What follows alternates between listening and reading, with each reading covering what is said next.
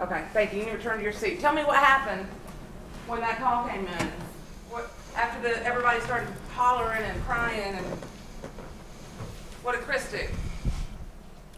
He got out of the car And where was, where was that at? At the red light. Did you help him get out of the car? I can't remember. Um, I told him to get out of the car because I was afraid that guns were going to be put on the car and my grandbaby was in there. Okay, and why would you tell him to get, why would you think that there were gonna be guns put on the car? I didn't know who or who was responsible for for what had happened. You know, just thinking that he, you know, somebody might have had done something wrong. That you know, one of them maybe had done something wrong, and the guns were going to be drawn. I just was thinking about my grandbaby. I didn't want my grandbaby to be in the middle of that. So your first thought when you learned that the baby died was that either your daughter or Chris killed their baby? No, not that they. Just that that everybody might have thought that they did.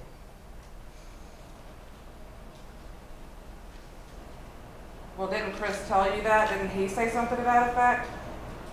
He said that they were going to think that if they found it anywhere near his, the, their home, that they were going to think that they had something to do, to do with it. You, that night after Chris jumped out of the car, you went to um, the sheriff's office and were interviewed, is that correct? Do you remember this man right here interviewing you, Jeff Alexander? Yes, And do you remember giving a, a statement to him? yes, And that statement was recorded, did you know that? yes, And you actually had an opportunity for me to play that statement for you um, in preparation for this trial, is that correct? yes, Um, and when you listened to that statement, as I pointed out to you on the day that I played it for you, you never told the investigators that night that you told him to get out of the car because you were concerned for your grandchildren. Yeah. correct? I just I don't know why I didn't tell him that. In fact, you stated, quote, Cortney, and they said they found the baby and started telling more details or whatever, and he said, they're gonna think it's me. They're gonna think it's me and jumped out of the car. Is that correct? Yeah, he did say that, and he jumped out of the car, but I told him to get out of the car also. Were you trying to protect him then, because you knew that he had done the No. I was just worried about my grandbaby. Well, I mean, I'm not trying to be ugly, Pam, I'm really not, but with all due respect, you weren't even involved in your grandchildren's lives. I mean, you weren't involved in Caliyah's life or Clarissa's life, were you? No, So, do you want the jury to believe that this grandchild was more special to you, or you were somehow involved, and you didn't even raise your own daughter? just because I wasn't involved doesn't mean I still don't love them. Did you have any reason to be concerned about the police stopping y'all? No, not at that time because I don't think they knew what vehicle we were in or anything. Well, then how were they gonna pull guns on you? We were going to pull up to where everything was going on. Did you not think that your son, in- or I guess it's your son-in-law and your nephew, let's see, it's your nephew and your daughter's boyfriend, but did you not think that it would be important when the baby was found for him to go there to where his child was found? Yeah, but to go there by himself, not with, he didn't have to arrive with us. Why? I didn't want my grandbaby in the middle of that. I just didn't know what was going to happen. Well, I mean, the only reason, the only way that makes any sense is that you assumed that Chris killed your No. I didn't assume that. Well, then I why just- would you be concerned? Every, all thoughts went through my head. I didn't know that if he may or may not have, you know, I didn't know either way, but I didn't want to take any chance. And you understand that what you said that night when you went to the police department um, was just, what, hours after this happened? Would there be a reason why you would have lied to the police on that night? I just wasn't thinking about me saying get out of the car. Well, I mean, that's a pretty important thing, right? Like, you know that for hours, not only are the police, the sheriff's deputies, swarming all over that part of the county, but all the citizens are out looking for Chris McNabb. You, you know that, right? You knew there was like an hour-long manhunt for Chris McNabb. You know that? After the baby was found. Right, after he jumped out of the car. And you're not gonna tell Investigator Alexander that you're the reason he jumped out of the car, that you told him to? He didn't have to jump out of the car. Listen to her question. Listen to her question. Ask your question of it. With all that was going on to locate him, why would you, wh- how could it slip your mind, as you said? I guess it just slipped my mind. I forgot to tell him that I'm the one who told Chris to get out of the car. I don't know how. Well, you told the police something very different. It's not that it just slipped your mind. You told the police that he jumped out of the car because he was afraid that they were going to think he did it. I didn't say he was afraid. I just said that he said that they're gonna think. Well, what is a person who runs? Are they not the person who's afraid? Well, he was running in dir- the direction to where they found the baby. He wasn't running away from it, He was running through the woods. but it was towards the park where they lived. It wasn't the other direction. But he was running through the woods. He didn't have anywhere else to go.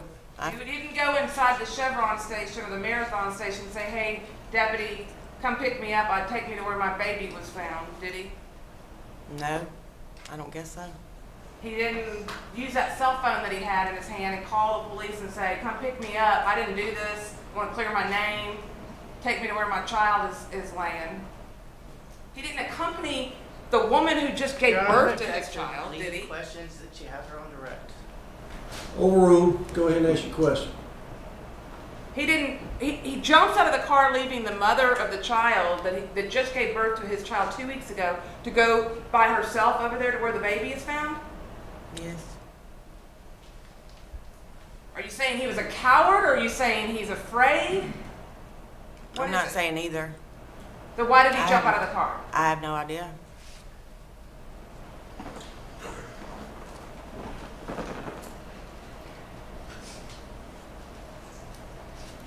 Y'all have drugs in the car that night? No. Did y'all smoke drugs together that day? Smoked a blunt before we left. Thank you. Those are all the questions that I have. Mr. Hart? Thank you, Judge. I'm Sandy. I'm Anthony Carter. Just have a few questions for you. Um, just to go back over, this is October 8th, uh, the day after Caliyah went missing and the day that she was found. Is that correct? Uh, and you, Cortney, Lauren, Chris, and Jeremiah were in Lauren's car. Correct. uh, Lauren, Lauren driving. I think we've been through, um, been through where everybody was. Um, and Cortney received a call on her phone. Is that correct? Correct. And you said somebody told her that the baby had been found, and they gave her some other details. Now, was it apparent at that time that the child was dead? Yes. Okay. And at that point, um, you said uh, Chris became worried that they were going to blame him. That's what Ms. Zahn said that you said, right? Uh, you also told investigator Alexander that Chris didn't just say they're going to blame me. They, he said they're going to blame us, meaning him and Cortney. Is that correct? Right. And he asked you to clarify that several times, and you said no. He said they're going to blame us, right? Right. Okay. And then uh, you say that you told him just get out of the car. You told him just to get out of the car. Is that right? Now, the only thing that you didn't tell investigator Alexander that night, only thing that you missed out of what I just said was the fact that you told him to get out of the car. Is that correct? Correct. Now, Ms. Mackey's car, this, this model of car, actually has um, child protective doors on the back, does it not? So you had to get out I of the think car. I did. You had to get out of the car and open the door for Chris because he wasn't able to open his door. Do you recall I that? think, I think, I think I did. Okay.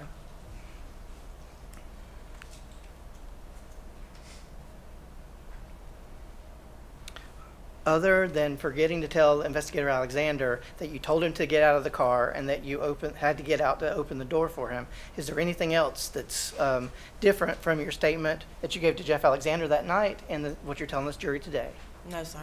Okay. Do you have any doubt about the things that you're telling us here today? No. Thank you, ma'am. Mr. Frost? Thank you. Ms. Hamby, you don't have a particularly good relationship with your daughter, do you? It's not bad. In fact, you've got, what, seven kids? Yes, How many different fathers are there? five. And you only raised out of those two of those, correct? The others were all raised by their father. Now, Yes, but you, well, you're actually closer to Chris, aren't you? no, Didn't y'all have a secret Facebook account so that you could go behind my client's back? he had secret Facebook accounts from, to keep from Cortney to talk to people. But But- it wasn't just me and him, But y'all got together on certain occasions and No. had little, absolutely not, y'all never had any? no.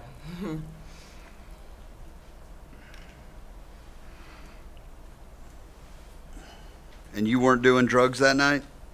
I Smoked a blunt, And you're not protecting Chris today, are you? no. Ms. Zahn? Pam, do you remember saying um, that Chris said if they found it? I'll let you read that last line here, where it says, "And he said," and read it in the microphone, what you told the police. And he said that if they found it anywhere near the house, they were going to blame us. And the it that he was referring to was his 14-day-old baby. Yes or no? Yes. That's all that I have, Judge. Mr. Frost? You may step down.